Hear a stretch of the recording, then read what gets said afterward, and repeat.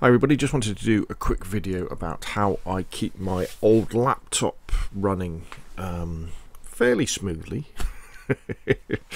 for an old laptop. Um, I'm now I'm no expert at PC optimization, but these kind of things work for me, and I thought they might work for other people too. And if you've got any better ideas, obviously stick them in the comment section down below. So my laptop is now over six years old. Um, it's an Acer Aspire E1571 laptop.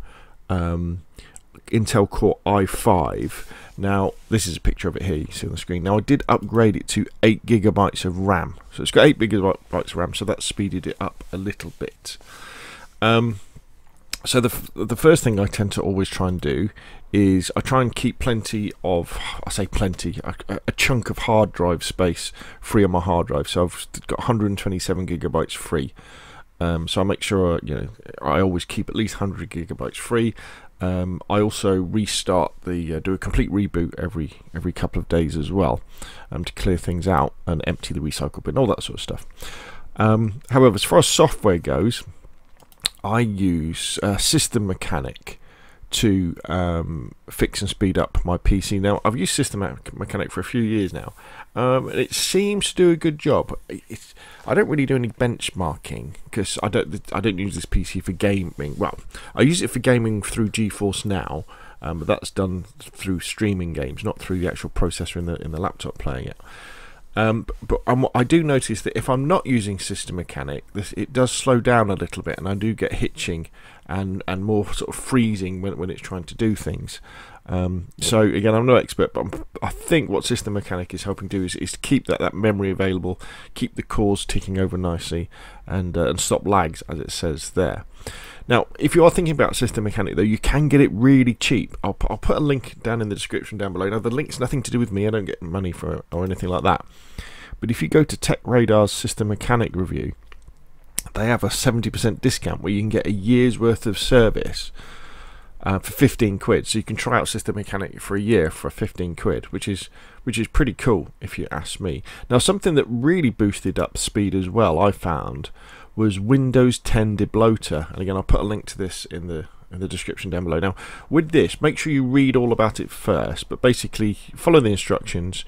Um, you install it, you run it, and it gets rid of a load of stuff that's in Windows 10 that doesn't really need to be there, especially um, processes that are running in the background, um, services.